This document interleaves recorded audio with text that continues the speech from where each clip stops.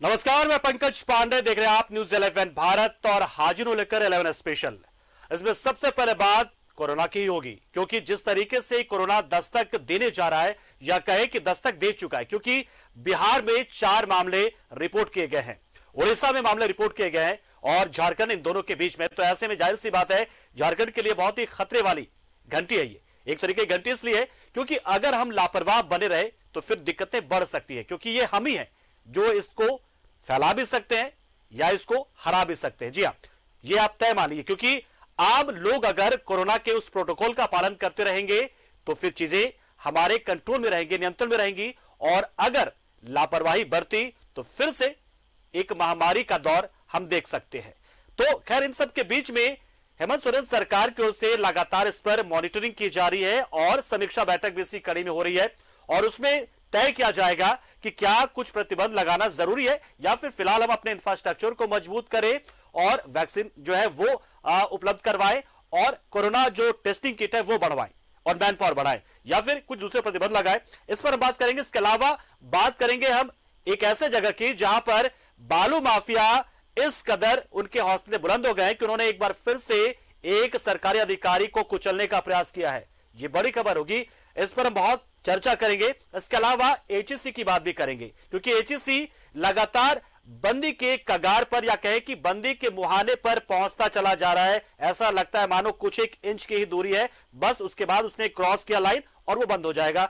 तो उसी कड़ी में जो एचईसी के इंजीनियर है या कर्मचारी, वो लगातार आंदोलन कर रहे हैं। लेकिन क्या उनकी आवाज़ पहुँच रही है, जहाँ पहुंचनी चाहिए, या फिर नक्कार खाने में तूती की तरह है वो? ये भी जाना ज़रूरी है। अश्मशान की बात भी करेंगे। स्मशान की ज़मीन को भी भूमाफिया जो है वो उस पर नज़र बनाए हुए लगातार उस पर कब्जा करे इसके अलावा बहुत सी बातें होंगी, लेकिन सबसे पहले बात कोरोना की। यह कोरोना का नया वेरिएंट ओमिक्रोन का subvariant B A point seven जिसने चीन समेत पाँच देशों में दस्तक दी है। तो ज़ाहिर सी बात है, भारत उससे बछूता नहीं रह गया है। तो कोरोना पर सीएम हेमंत सोरेन की अध्यक्षता में हाई लेवल मीटिंग हुई है, जिसमें स्वास्थ्य मंत्री बन्ना गुप्ता के अलावा मुख्य सचिव समेत कई अधिकारी मौजूद रहे। बैठक में कोरोना के मौजूदा हालात की समीक्षा की गई। साथ ही कोरोना से लड़ने की तैयारी की समीक्षा की गई। है मुख्यमंत्री हेमंत सोरेन ने एयरपोर्ट और रेलवे स्टेशन पर कोरोना जाँच के निर्देश दिए हैं। साथ ही ऑक्सीजन प्लांट और अस्पतालों में कोरोना को लेकर तैयारी तेज करने को कहा है। मुख्यमंत्री ने राज्य के बॉर्डर पर भी कोरोना जाँच के निर्देश दिए हैं। देखिए, बड़ी खबर। इंतज़ार इसी बात का था कि आखिर झारखंड में क्या होता है। क्या होने वाला है और क्या किया जाएगा? तो देखिए शुरुआती जो संकेत सरकार ने दिए हैं वो आ चुके हैं। जो रेलवे स्टेशन है एयरपोर्ट है या बॉर्डर का इलाका है वहाँ पर कोरोना का जाँच किया जाएगा। मतलब आप तैयार हो जाइए कि अब आपको एक बार फिर से उसी दौर का सामना करना पड़ेगा जैसा हमने 20, 21, 22 में किया। शायद जो नया साल 23 आएगा, वो इसी तरीके से गुजरने वाला है। इन सब के बीच में जो सबसे महत्वपूर्ण चीज़ हुई इस हाई लेवल मीटिंग में, कि राज्य में मौजूदा इंफ्रास्ट्रक्चर में किस तरीके से चीज़ें मौजूद है। कोरोना को लेकर जो इंफ्रास्ट्रक्चर डेवलप किया गया था, क्या वो अपने उस हालत में है, या उसमें कुछ सुधार की गुंजाइश है, उसे सुधार कर वापस से उन्हें उन्हें फंक्शनल किया जाए, ये निर्देश दिया गया है। मास्क को लेकर फ़िलहाल ऐसी कोई विशेष निर्देश तो नहीं दिया गया है, लेकिन कोई गाइडलाइन तो नहीं, लेकिन ये आपके ऊपर है। ये साफ़ कहा गया कि लोगों के ऊपर होना चाहिए कि वो इस मामले को कितनी गंभीरता से लेते हैं। क्या अब भी लोगों को ये बताना पड़ेगा कि कोरोना कितना खतरनाक है, उसे गंभीरता से लीजिए, जबकि राज्य के लोगों ने दो दो साल, तीन तीन साल इसकी भयावहता को झेला है, सामना किया है। तो देखिए, अस्पतालों में कोरोना की तैयारी की समीक्षा बेसिकली आज जो हुआ है, और जो पीएसए प्लांट है, जो प्रेशर स्विंग जो मशीनें होती है ऑक्सीजन की पीएसए प्लांट की ऑक्सीजन प्लांट की, उसको ठीक करने को लेकर यहाँ पर निर्देश दिया गया कि वो सभी फंक्शनल रहे ताकि ऑक्सीजन की कमी ना हो। तो बेसिकली आज यही हुआ है कि एयरपोर्ट रेलवे स्टेशन बॉर्डर पर जाँच हो। इसके अलावा ऑक्सीजन प्लांट दुरुस्त रहे। कोविड जो जो वार्ड होते हैं, उन्हें दुरुस्त कर लिया जाए। कुछ बेड डेडिकेट कर दिया जाए अभी से। तो ये समीक्षा की गई है। तो बहुत बड़ी खबर है। देखिए, हम लगातार इस बात को लेकर जब बातें कहते हैं तो लोग यही कहते हैं कि मीडिया के पास कोई काम नहीं है। लेकिन मीडिया के पास अगर काम नहीं तो आप फिर इसे क्या कहेंगे? सरकार को दरअसल अपने लोगों की चिंता होती है और मीडिया को भी वही चिंता होती है। वही चिंता होती है और सरकार जो कुछ करती है, जो जानकारी स्वास्थ्य विभाग की ओर से हमारे पास पहुँच रहा है, हम ठीक उसी जानकारी को आप तक पहुँचा रहे हैं। तो ये आप बिल्कुल ना सोचें और अगर आपको सोचना है तो फिर सोचते रहिए, क्योंकि हमारा काम ये हमारा ड्यूटी, हमारा कर्तव्य है कि हम आपको जागरूक करते रहें, हम आपको बताते रहें कि आखिर कोरोना को लेकर फ़िलहाल क्या कुछ चल रहा है। देखिए, तमाम बहुत सारे ऐसे लोग हैं जिन्हें लगता है कि मीडिया बेवजह झूठ फैलाता है। बहुत से लोग ऐसे कहते हैं कि जो दूसरे जो दल के लोग हैं, वो अगर कुछ कार्यक्रम करते हैं तो उनसे बचने के लिए बीजेपी को सजा किया जा रहा है। लेकिन इन सब के बीच में, इन सब के बीच आपको बता दें कि कोरोना ने दस्तक दे दी है। कोरोना का किसी राजनीतिक दल से, किसी धर्म से, किसी मज़हब से, किसी वर्ग से कोई कनेक्शन नहीं है, इसका सीधा कनेक्शन हर एक आम जनमानस के साथ है। आपको बचना है, आपको जागरूक रहना है, आपको सतर्क रहना है और सरकार उसी व्यवस्था में, उसी कोशिशों में लगातार लगी हुई है। इसी कड़ी में उच्च स्तरीय बैठक हुई है।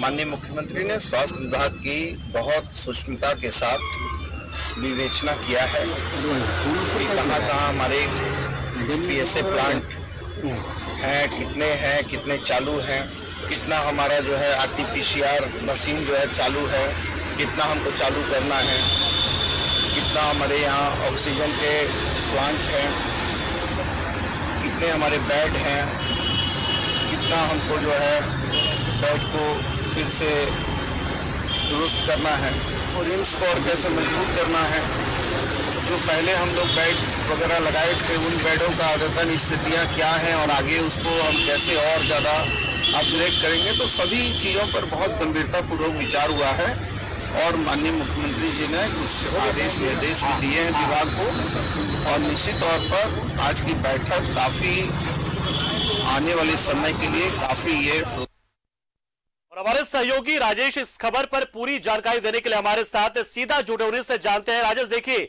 लगातार इस बात की चिंता कर रहे थे। हम मीडिया वाले तो कर रहे थे, सरकार भी लगातार इस पर नज़र बनाए हुए थे और देखिए, जैसे ही बिहार से रिपोर्ट किया गया कि चार जो मरीज़ पाए गए हैं गया में और साथ ही उड़ीसा में अगर रिपोर्ट पाया गया, उसके बाद जब आशीष बातें सामने उसके बाद से देखिए किस तरीके से हाई लेवल मीटिंग हुई और इससे पहले ही संकेत सरकार ने संकेत दे दिए थे कि हम इस पर नज़र बनाए और जल्दी मीटिंग होगी। तो आज मीटिंग हुई, क्या खास रहा, किस तरीके से सरकार आगे बढ़ रही इसको लेकर, क्या कुछ पहले चरण में होगा क्या क्या होगा?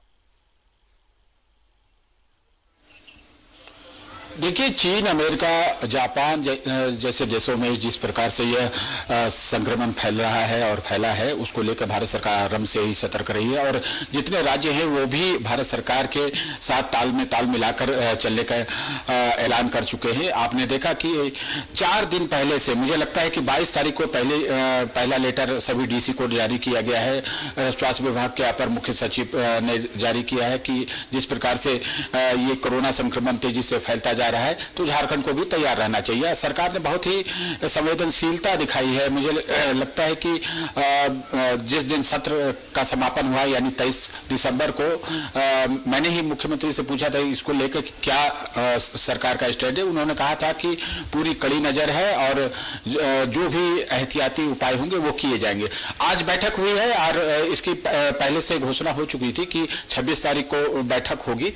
और बैठक में स्वास्थ्य मंत्री भी थे मुख्यमंत्री मुख्यमंत्री ने सभी को निर्देश दिया जितने भी जिला है जो हॉस्पिटल है जो पिछले कोरोना काल में जिन, जिनकी उपयोगिता हुई थी जिनका वहाँ पर बेड लगाए गए थे वहाँ पर पीएसए प्लांट थे वहाँ पर जो भी इंस्ट्रूमेंट थे सभी को ठीक ठाक कर रखने का निर्देश दिया गया है क्योंकि गया में चूँकि पॉजिटिव केसेस आए हैं चार केसेस उड़ीसा में भी मिले हैं तो इसको लेकर चूँकि ये बॉर्डरिंग इलाका है और कोरोना पूछ के तो आता नहीं है कि इसलिए सरकार ने यह तय किया है कि बॉर्डरिंग एरिया में वहाँ पर थर्मल स्कैनिंग होगी जाँच होगी। इसके अलावा बस अड्डा हो, रेलवे स्टेशन, हवाई अड्डा, इसमें तो जाँच होनी ही चाहिए। देखिए, मास्क पहनने का सरकार ने भले ही अनिवार्यता नहीं की है, लेकिन लोगों को यह मास्क पहनना ही चाहिए और मुझे लगता है कि सरकार को ये चाहिए एक दो दिनों में कि मास्क ज़रूर पहने और सोशल डिस्टेंसिंग को जरा फॉलो करें। सरकार का मकसद ये नहीं है कि वो किसी को डराए, लेकिन सतर्कता से ही बचा जा सकता है, ये स्पष्ट है।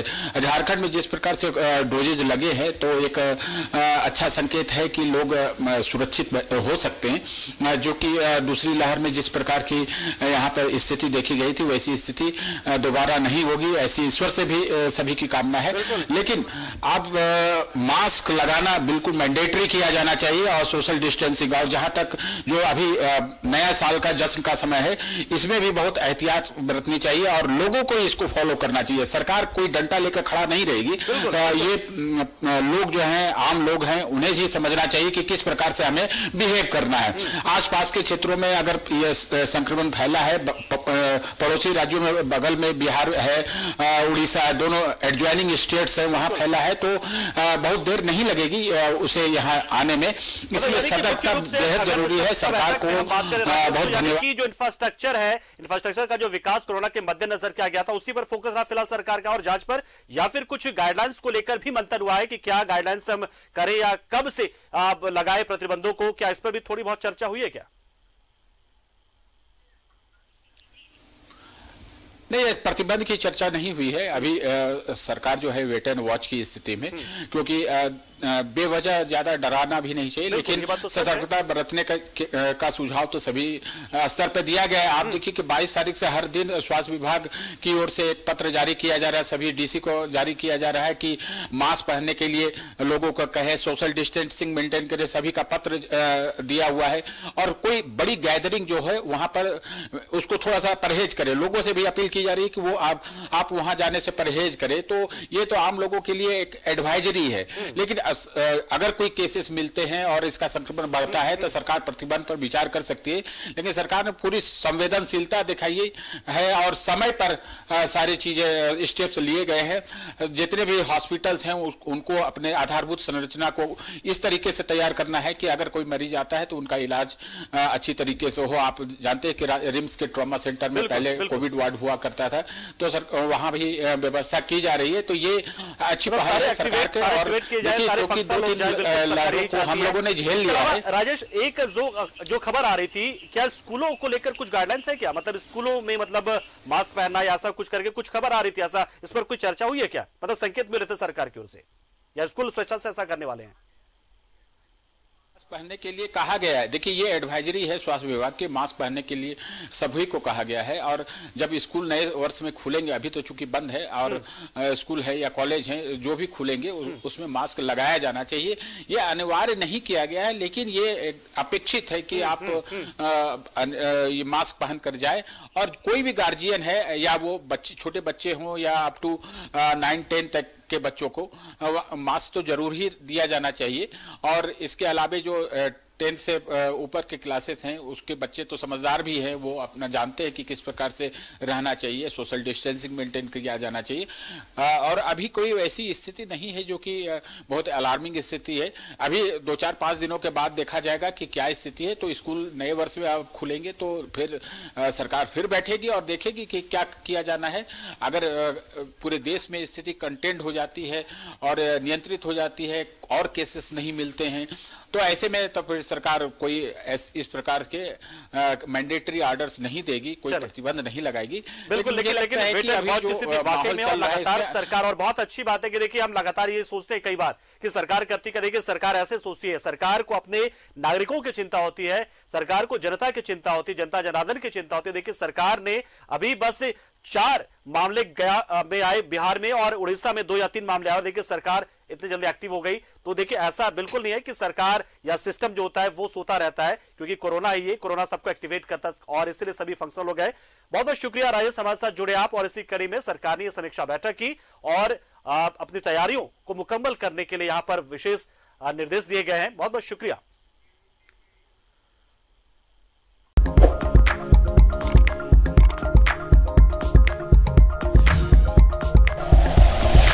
Like and share videos, subscribe करें हमारा चैनल और प्रेस करें बेल आइकॉन न्यूज़ 11 भारत सच है तो दिखेगा।